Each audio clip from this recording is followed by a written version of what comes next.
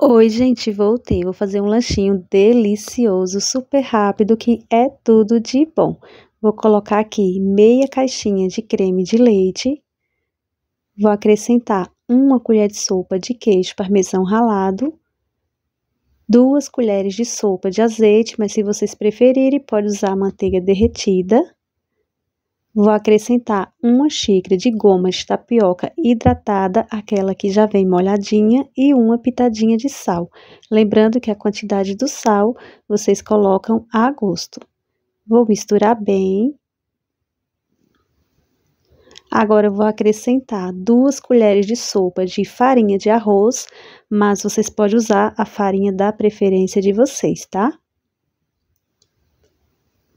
Misturei bem, ficou nesse ponto. Agora vou acrescentar 30 ml de água e meia colherzinha de chá de fermento em pó. Misturei bem.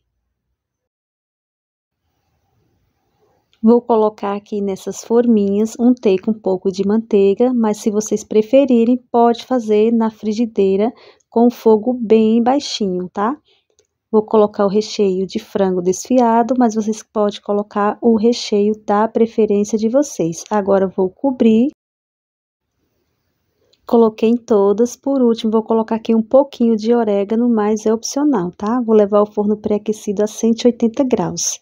Ficaram prontinhos, apenas 30 minutinhos no forno.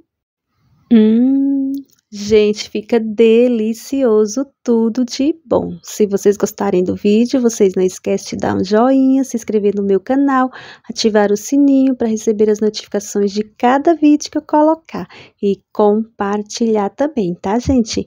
Tchau, até o próximo vídeo.